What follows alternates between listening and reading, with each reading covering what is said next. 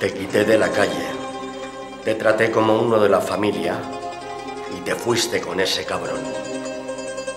Y ahora vienes a pedirme perdón. Vamos, Francisco. Ya es hora de cambiarte. Que me llamo Don Corleone. Pero la semana pasada no era Rocky. Uy, pero qué mal huele. Ya se me ha usted bien encima, ¿eh? Anda, déjeme que le cambie bien la bolsita. Así. Y deje ya hablar con el gato, que Miguelito no hace más que buscarlo por todas partes. Vamos a poner un poquito de musiquita española, ¿eh?